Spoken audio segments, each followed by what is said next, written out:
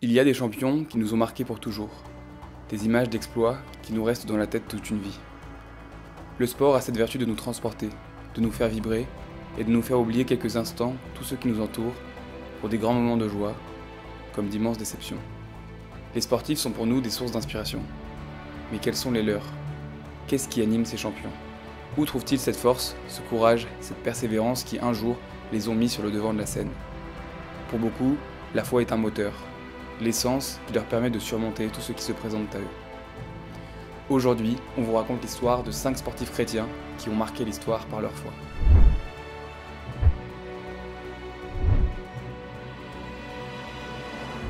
Bonjour à tous, bienvenue sur Amen, j'espère que vous allez bien, j'espère que vous passez un bel été.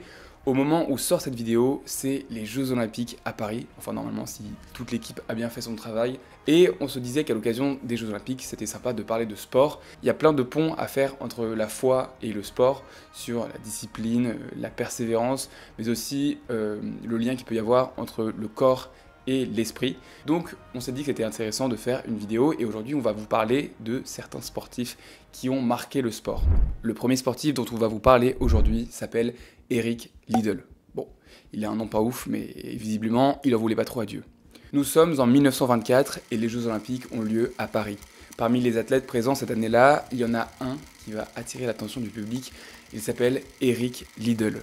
Bon, malgré le fait qu'il porte un nom de magasin à bas prix, Eric va imposer le respect. Tout d'abord pour ses capacités sportives. Eric, à la base, c'est un joueur de rugby. Il est professionnel au sein de l'équipe écossaise, euh, donc du rugby à 15. Et pourtant, il va se présenter dans une toute autre discipline à Paris, l'athlétisme et plus particulièrement le 100 mètres dont il est spécialiste. Mais manque de chance pour Eric, les séries du 100 mètres auxquelles il souhaitait participer tombent cette année-là le dimanche. Lui, qui est un fervent chrétien, refuse catégoriquement de courir le dimanche pour respecter strictement le jour du sabbat. Mais Eric, il a anticipé la situation plusieurs mois à l'avance et il s'est préparé sur 200 mètres et 400 mètres. Et cela va lui réussir. Il obtient d'abord la médaille de bronze sur 200 mètres, puis le 11 juillet 1924, aligné au couloir extérieur en finale du 400 mètres, il domine toute la course et signe un record du monde en 47,6 secondes. Ces résultats et cette décision, basée sur ses convictions religieuses, ont suscité une grande admiration et lui ont valu le nom de Flying Scotsman, ce qui veut dire l'homme volant, je crois, si je suis pas trop trop mauvais en anglais.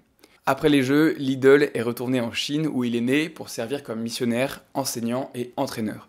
Durant la Seconde Guerre mondiale, il a été interné dans un camp de prisonniers de guerre japonais où il a continué à démontrer sa foi et son altruisme en aidant ses compagnons de captivité. Il est mort dans ce camp en 1945, laissant derrière lui un héritage de dévouement spirituel et d'intégrité. Son histoire, d'ailleurs, peut-être que vous avez vu le film, a été immortalisée dans le film Les chariots de feu, qui illustre son engagement inébranlable envers sa foi. Bon alors là vous vous dites qu'on a commencé très très fort, mais attendez, l'homme qui vient est tout aussi exceptionnel, il s'appelle Gino Bartali. Cette année, en 2024, le Tour de France était lancé d'Italie et la première étape, euh, qui reliait Florence et Rimini, rendait hommage à un célèbre coureur italien qui s'appelle Gino Bartali. Coureur de 1935 aux années 50, Bartali s'est distingué en tant que sportif pour avoir gagné 3 Tours d'Italie, mais surtout 2 Tours de France à 10 ans d'intervalle, et ça c'est une performance qui n'a jamais été égalée. Véritable champion de son époque, Gino Bartali euh, fait partie des rares coureurs de l'histoire qui ont terminé plus de 10 fois sur un podium final euh, sur des grands tours. Sa carrière a été marquée par sa rivalité avec le grand Fausto Coppi, mais si vous n'êtes pas des puristes du vélo, vous ne devez pas connaître. Mais Gino Bartali n'est pas seulement réputé pour sa carrière de cycliste, mais aussi pour son grand cœur et son engagement humanitaire profondément enraciné dans sa foi catholique. Pendant la Seconde Guerre mondiale, Bartali devient messager pour un réseau clandestin de résistance et il va utiliser son coup de pédale pour transporter des documents et cacher des faux papiers dans le cadre de son vélo. Ces actions ont aidé à sauver environ 800 juifs des persécutions nazies. Bartali a toujours attribué son courage et sa détermination à sa foi catholique qui lui a donné la force de risquer sa vie pour sauver les autres. Il a souvent cité son dévouement à la Vierge Marie comme source d'inspiration. D'ailleurs, au sein du peloton, il était déjà reconnu comme un fervent catholique, ce qui lui avait valu le surnom de Gino le Pieux. Pour ses actions héroïques, il a été reconnu comme juste parmi les nations par Yad Vashem en 2013, longtemps après sa mort en 2000, témoignant de l'impact durable de sa foi et de ses actes de bravoure. Prenons maintenant un peu de hauteur avec l'histoire de Philippe Martinez. Alors non, on ne parle pas ici euh, de l'ancien secrétaire général de la CGT, qui est un petit peu moins sexy, il faut le dire, mais bien d'un alpiniste de renommée internationale. Si vous suivez un peu YouTube, vous connaissez forcément Inoxtag, ce jeune youtubeur qui s'est donné pour défi de gravir l'Everest. Eh bien si ça vous impressionne, écoutez attentivement l'histoire de Philippe Martinez. D'origine juive, Philippe Martinez se convertit à l'âge de 25 ans, puis il quitte son emploi de professeur de secours en montagne de la police nationale pour se consacrer à l'annonce de l'évangile. C'est un chrétien fervent et il a envie de témoigner. Il devient pasteur évangélique à Die, dans le Vercors, où il habite. Mais cette nouvelle vie d'homme de foi ne freine pas ses ardeurs de jeune sportif amoureux de la montagne. Et euh, il se donne pour défi en 2006 de gravir l'Everest avec un objectif précis, célébrer le premier culte chrétien au sommet de l'Everest et y enfouir une Bible. Rien que ça. Alors pendant que nous, on galère à se lever euh, le dimanche matin pour aller à la messe, lui, il va faire sa messe au sommet de l'Everest. Alors Philippe commence à s'entraîner, il ne recule devant rien, et quand Philippe veut, Philippe peut. Philippe Martinez atteint le sommet de l'Everest le 17 mai 2006 à 52 ans. Il devient le 45e Français vivant revenu de l'Everest et reçoit la médaille de l'Assemblée nationale. Les images tournées par les membres de l'expédition sont rassemblées sur le DVD Rendez-vous sur l'Everest. Au-delà de l'exploit physique, pour Martinez, l'ascension d'Everest représentait également une quête spirituelle, une manière de se rapprocher de Dieu et de la nature.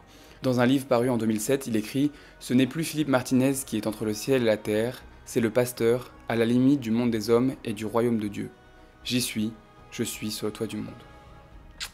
On passe maintenant à un sportif certainement plus connu. Si vous suivez un petit peu la Formule 1, vous avez forcément déjà entendu son nom, Ayrton Senna. 1er mai 1994, Grand Prix de Saint-Marin. Au niveau de la sixième boucle, une voiture sort de la piste dans un virage et percute un mur en béton à 210 km/h. C'est celle d'Ayrton Senna. Le Brésilien, qui restera dans les mémoires comme l'un des plus grands pilotes de Formule 1, mourra quelques heures plus tard à l'hôpital. Sa carrière aura été marquée par ses nombreux titres, sa rivalité avec le français Alain Prost, mais aussi son immense foi chrétienne. Ayrton Senna était un homme de profonde conviction spirituelle. Il priait avant chaque course et remerciait Dieu à chaque victoire. Je le cite, Je fais tout pour comprendre la vie au travers de Dieu. Cela veut dire tous les jours de ma vie, non seulement quand je suis à la maison, mais aussi dans mon travail. D'ailleurs, ce qui est amusant, enfin amusant je sais pas, mais c'est que certains de ses adversaires interprétaient mal ses déclarations sur sa foi et sa relation à Dieu, euh, donc ils se jugeaient, ils étaient un petit peu moqueurs, et surtout ils, euh, affirmaient que sa façon euh, redoutable et agressive, parfois dangereuse de conduire, était le résultat de sa foi, sa croyance, et du fait qu'il croyait que rien ne pouvait lui arriver. Et pourtant, Ayrton Senna savait qu'il n'était pas immortel. La veille de sa mort, un autre pilote, l'Autrichien Ratzenberger, avait trouvé la mort en pleine course. L'ambiance dans le paddock était lourde et crispée. Ayrton Senna, au volant de sa voiture, laisse un message à Alain Prost, son ennemi de toujours, en lui disant Tu nous manques, Alain, enterrant ainsi la hache de guerre et des années de rivalité entre les deux hommes.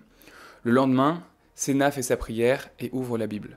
Puis il se tourne vers sa sœur et dit Aujourd'hui, je vais recevoir le plus grand cadeau que je puisse recevoir, Dieu lui-même. Quelques heures plus tard, il perdra la vie sur le circuit.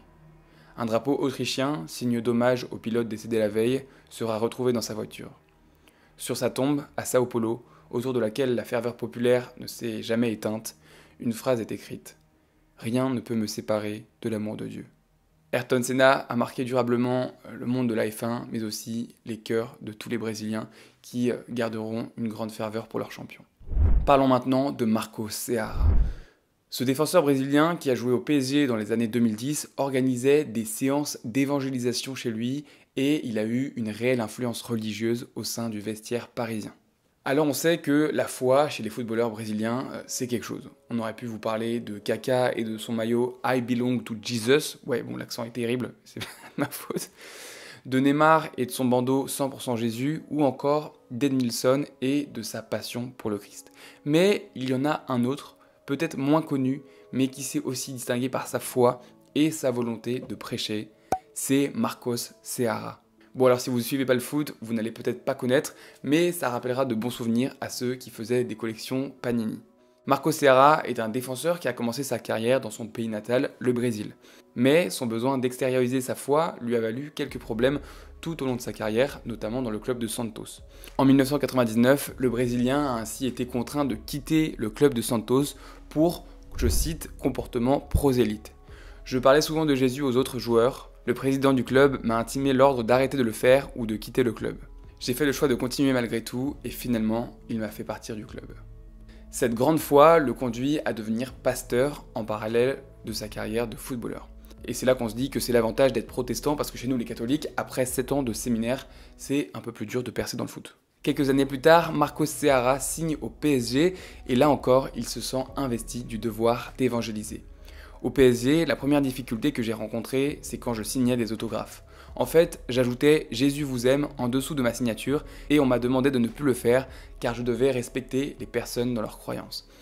Il commence alors à organiser des soirées religieuses chez lui ou dans des églises protestantes où certains de ses coéquipiers professionnels comme Fabrice Pancrate ou le célèbre brésilien Néné se rendent régulièrement. Je profite vraiment que, que je suis un footballeur maintenant et que ma parole, euh, entre guillemets, a un petit peu de poids. Donc je, suis plutôt un, missionnaire qui propage la, bonne parole, la parole de Dieu. L'avantage, c'est que son statut de joueur du PSG lui permet d'évangéliser certaines personnalités célèbres.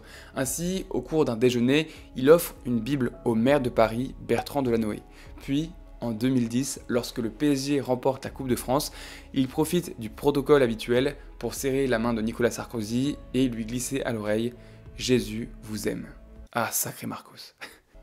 voilà, c'était la dernière histoire. On a vraiment 5 histoires inspirantes. Alors franchement, j'aurais pu faire une vidéo dédiée pour chacun parce qu'il y avait encore plein de trucs à dire. Et puis vu le nombre de sportifs qui se sont euh, illustrés par leur foi, je pense qu'on a vraiment plein d'épisodes à faire. Vous aurez peut-être remarqué que la plupart de ces sportifs sont protestants, évangéliques. Euh, alors certains sont catholiques, mais même dans la grande liste de sportifs que j'ai faite euh, pour faire cette vidéo, qui, ont, qui sont illustrés par leur foi, on retrouve énormément de protestants. Et c'est là qu'on voit que la foi euh, évangélique a vraiment quelque chose de, de très tourné vers la mission et l'annonce du Christ. Alors ça c'est vraiment magnifique. Et je pense qu'en tant que catholique, on a vraiment à s'en inspirer. On a une foi qui est tout aussi profonde euh, mais je pense qu'on a encore plein d'efforts à faire sur l'évangélisation. En tout cas, moi, en tant que passionné de sport, j'ai pris beaucoup de plaisir à préparer cette vidéo. Ça m'a permis de me replonger dans plein d'événements sportifs. Et surtout, je trouve ça très beau de voir qu'il y a des sportifs qui, euh, qui ont la foi, qui puisent dans leur foi pour euh, accomplir des exploits sportifs. Et surtout, qui utilisent leur notoriété et le statut qui leur est donné pour parler de Dieu au monde entier. J'espère que la vidéo vous aura plu, que ça vous aura intéressé. On verra si on fera un épisode un peu prolongement, si on s'intéressera plus spécifiquement à un athlète. En tout cas, on a encore du temps pour en parler sur cette chaîne. Je vous dis à très bientôt, passez un bel été, bon courage à tous ceux qui sont à Paris, coincés dans les bouchons et qui ont du mal à circuler à cause des QR codes. On est avec vous, que la paix soit avec vous.